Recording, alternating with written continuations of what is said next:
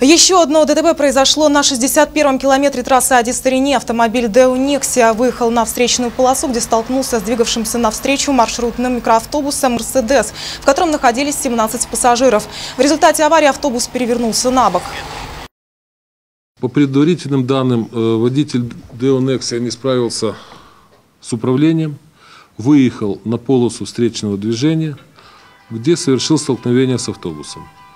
То есть э, левым крылом передним и левым передним колесом э, он ударил автобус в левое заднее колесо.